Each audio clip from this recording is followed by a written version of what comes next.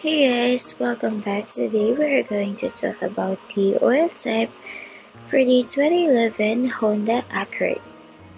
And if you are looking for what oil to buy for your 2011 Honda Accord, I have already looked it up. Just check the video description and I will try to leave the info there as well. The oil type for the 2011 Honda Accord is OW-20 synthetic. This oil type is only the manufacturer's recommended oil type. Keep in mind that the type of oil could change depending on the year and mileage of your car. You can change your oil as often as every 3 months or you can ask your mechanic for the recommended oil type and frequency of changing your oil. So once again, the oil type for the 2011 Honda Accord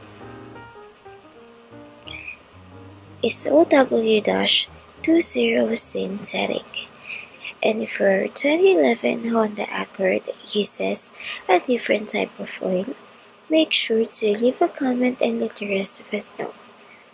Don't forget to check the video description for the most recent price. Thank you for watching this video. Please like and subscribe.